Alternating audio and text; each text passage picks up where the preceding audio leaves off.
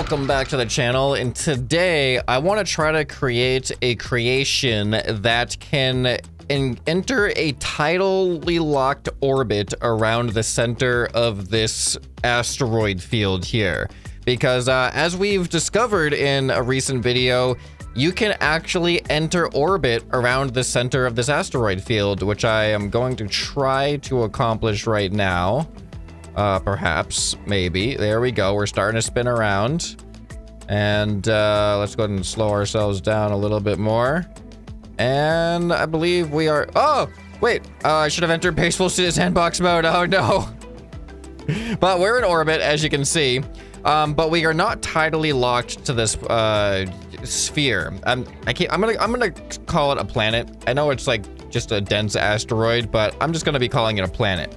So I know that we can get in a pretty tight orbit around this, but the difficult thing with that was I kept having to adjust my angle and trajectory to uh, make sure that I was constantly facing in the direction of my travel.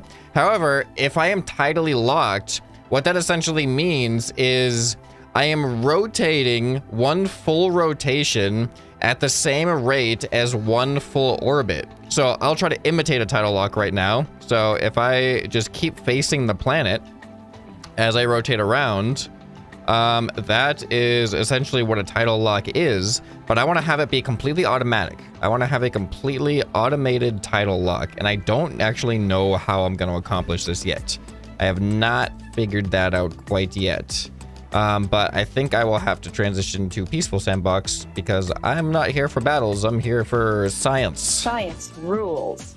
All right, so I am going to use this uh, right here, and this is just a slightly modified version of my uh, sonic boom ship that I broke all the sound barriers on every planet on. And some people were asking why I didn't break the sound barrier on this asteroid here. That's because there's no atmosphere and you need an atmosphere to break the sound barrier. But with this currently in its state, I can go forward and I can go backwards and I can turn and rotate in all of the directions. Okay, so I have all of the controls I need. So now uh, what I want to be able to do, I only need forward and backwards thrust because to modify my orbit, that's all I need to speed up or slow down to increase or decrease my distance away from the planet. But what's going to make it easier to do that is a tidal lock which means I want to keep one side of my vehicle always facing the planet. So that way it looks like I'm just driving around it as if I was steering, and I'm about to get hit. Well, that was a lot gentler than I was expecting. Thank you. Thank you for the nice little nudge there. So as far as sensors go, um, we have an angle sensor, but like, how do we create a tidal lock that is versatile? Like, I don't want to have to be on a particular part of the planet, like part of the orbit. I want to be able to orbit it at any angle, from any approach and just stay tidally locked. I think distance sensors might be the only thing. But then that locks me in potentially to, I, I can only stay a certain distance away from it for it to work. All right, I'm gonna go with distance sensor for now. All right, so here's what I got right now. I got these distance sensors and they are going to be at like 45 degree angles for now. This is adjustable. And if it detects that the planet, the surface of the planet is pulling away on one side, um, then the sensor should no longer detect the planet, causing, and then it'll it'll put an input to rotate so it continues to detect the planet. Uh, that's the plan. That's the. Uh, I am in a bad spot. That's the uh, the temporary plan right now, or the prototype plan right now. So now this sensor, if it detects the planet, it wants to rotate me to the right. Yaw right. So that means a positive signal to my yaw. So positive signal to these two gyros.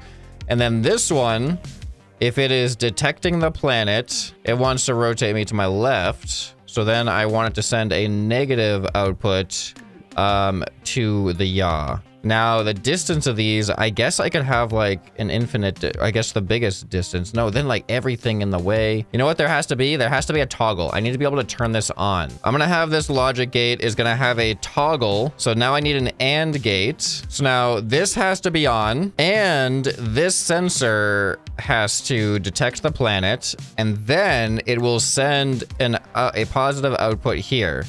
So now I need another AND gate for the negative. So this AND gate will send a negative output to the yaw when it receives a signal from my uh, my toggle on button and this distance sensor. I think I have it hooked up correctly. Now I'm just gonna copy and paste these to the other side, but I'm gonna replace the sensors with dummy blocks. Let's just see what happens when I approach the middle here. I don't know what the distance of 50 meters looks like in space, but I need to slow down a lot. Oh boy, we're getting close here. Oh boy, we're hitting the planet. Dang it. All right, hold on, hold on, hold on. This is hard. It's hard to get to establish the initial orbit. Okay, this is not bad.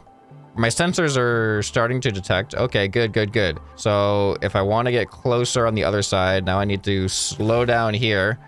All right, and you know what? Let's start, let's turn it on. It should activate. Why is that not working? Do I have it reversed or something? All right, you know what? I need to not be here right now. I need a test spot for my logic because my logic is not at all working as intended. Oh, we do have an issue of the steering hinges are actually steering. I'm gonna turn it on and the sensor, it's not working. Oh, I think it's supposed to send a negative. All right, yeah, that was why. And then turn the sensor on. Why is this not working? Oh, I gotta put this back to a one. That's why I had the sensor also on a negative. This has to receive a positive input. Okay. Yes. Yes, now you can see it automatically redirects me when that sensor's gone. And then it automatically redirects me when that, that sensor's gone. Okay. I think it's working now. So let me do a quick test. I'm gonna drive by uh, this thing right here. Oh yeah, you can see it's trying to, or, or, hold on, it's trying to orient myself towards it. Now, I really wish 50 meters, like space is so big. We need, everything needs to be expanded for space. I'm just gonna try to gently go in here, get myself, uh, establishing the orbit. I haven't quite settled in on, a, on the best strategy to get established with the orbit. All right, and now slow down a lot. I need to slow down a lot more than I just did. All right, let's just adjust my trajectory that way. All right, this is happening. All right, I'm going to activate it now. Number one. Dang it. oh, I don't have a good speed. Where am I? Whoa, whoa, whoa, whoa, whoa. This trajectory is not right. Okay, now when I get far away. There we go. Go a little bit faster. See, it's trying. It's trying here. Now when I get close, go a little bit slower. This is starting... I'm not I'm not doing any turning inputs. I'm only doing uh, velocity inputs right now. It's not the smoothest... It is really not the smoothest tidal lock. But in principle, it is working. Only one side of me is facing it at once. All right, I think like what could be adjusted here? Maybe a, a wider ang a wider angle is gonna make it so I have to get closer though. So that's the thing, the angle of them uh, does change how far they can see uh, in their distance from me. If I just have them facing straight at the planets, it'll be, I can be much farther away, but I don't think it'll be as um, precise of an angle. But tidal lock is working. We've accomplished the basic principle of it. I just don't know how much improvement there is to be had. All right, so now it should be really easy for me to figure out what's the closest and farthest part of my orbit. All right, so here's the closest. So if I want to get closer, I slow down here. That may have been too much. That was kind of a lot, wasn't it? All right, but you can see now we're a little bit more consistent. And this is much easier to work out this orbit trajectory because I don't have to worry about constantly turning myself to face the right direction to slow down or speed up. All right, so where's the closest part again? I just want to keep getting closer. It's actually, I'm, I have a pretty even orbit. I just need to slow down a bit. There's the furthest it looks like. There we go. Yeah, now we're dialing it in here. All right, getting away. This is so nice. All I have to do is worry about the thrust. I don't have to worry about my angle at all. This actually kind of works. Now, the closer I get, the more I wish I can. I could program this to have an adjustable angle. Okay. All right, we got to go into build mode. All right, we, we got to get out of orbit, though. I'm sorry. I'm boosting out. We are boosting out of orbit. That was actually so extreme. Look at that. That's so cool. All right, I know how to make this adjustable now. Okay, so these hinges, uh, I'm gonna set 90 degrees hold position, and then I just need to have the right control. All right, check it out. So now, by pressing Z or X, I can manually open and close these sensors to adjust their angle, which I think I can find a nice sweet spot to have a much more precise uh, feedback from the planet. So now the problem is I got to get back in orbit on that thing. Now it looked like I could get a pretty good orbit, a close orbit at like close to 100 kilometers an hour. So I'm gonna have to manually here. Let's uh since I'm going farther away. Oh boy, uh, get out of here. Ah. This is hard. The initial entry into orbit is like the hardest part for me right now. But I'm gonna move these as far towards the plant. Dang it. All right, let's try this again. This time I'm gonna be prepared. And I have my angle sensors all the way out. Okay, here we go. I have it activated and nope, nope, nope, nope, nope. Slow down. There we go. Slow down a little bit more. Now let's open up my sensors just a little bit. Face here. Activate them. All right, there we go. It's trying. It's trying. This is good. This is promising so far. Yeah. All right, good. All right, now where is my closest part of the orbit? I'm not doing any more um, angle controls, rotation controls. That's all automatic right now. So now I'm trying to get myself, I'm trying to use that to get myself closer to the planet. But I need to determine where my close part is. Here we go. And then slow down a little bit there. I was a little bit late on that. All right, slow down a little bit here. All right, good. Good, this is happening. All right, slow down a little bit here. Oh boy, my angle isn't great. I'm not facing sideways yet. So now what I'm gonna do is open up the angle a little bit. Yeah, that's getting me more precision. A wider angle is better, especially now that I'm closer. Here we go. All right, slow down a little bit here. Speed up a little bit here to even it out some. Yeah, this is much better. All right, the wider the angle is, the better it is. But also the closer you have to be. How wide can I make the angle? Wow. Actually, it's not it's not the wider the better. There is a sweet spot. Because the wider you go, then all of a sudden you're starting like angling a little bit away because the sensor takes more time to detect the planet. So you do want it to be a little bit more towards the planet, but this is nice right here. All right, let's start uh, getting closer and closer now. Slow down a little bit. Oh, that might have been too much. Yeah, that was a little bit too much. At least we didn't get damaged. Slow down a little bit. It's not the it's not perfect. It's definitely not perfect. You can see the angle of my thrust is not perfectly in line with the Rainbow Maker, with the Rainbow Trail. But I can't think of a better way right now to have a tidal lock. I'm curious what other people could come up with for tidal, to get a tidal lock in an orbit. Like, I wonder if you could get one that perfectly uh, goes at the same rate as your orbit, because mine is just going in little notches.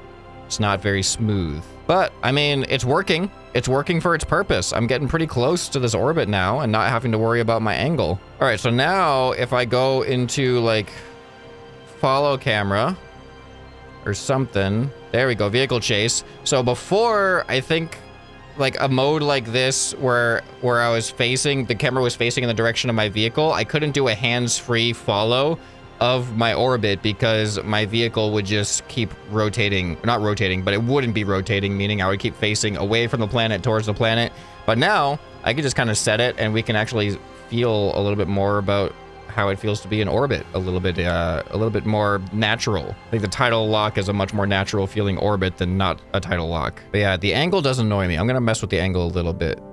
Okay, that seems to even me out just a little bit more. Okay, there we go. I went a little bit wider and I am definitely more well aligned now. Oh, there we go. Yeah, the closer you, when you are closer, wider. Oh, this is really good. This is the best tidal lock yet. Okay, I'm glad I experimented a little bit there. Because last time when I was farther away, the wider angle felt worse. Now the wider angle feels way better. Yeah. All right, I'm happy with this. I'm way, way happier with this. Look at how, look at the sensors. They are almost facing forward and back completely like 90 degrees. What if I do that?